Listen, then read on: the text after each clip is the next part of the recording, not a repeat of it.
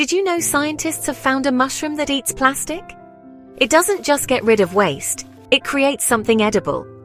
Here's how this eco-innovation could change the world.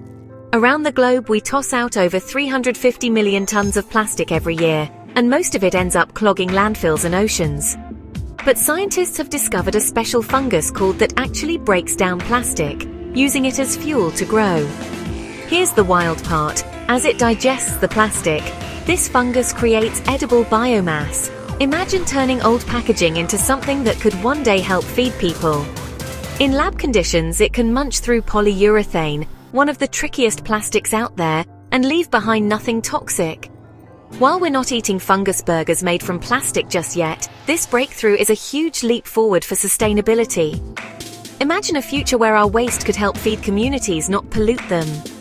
So, next time you think about tossing that plastic wrapper, remember, the next eco hero might just be a mushroom. How cool is that?